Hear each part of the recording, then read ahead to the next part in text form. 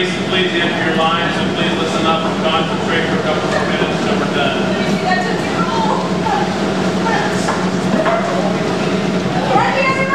Yes, definitely. Uh, all right, so you know what we can play.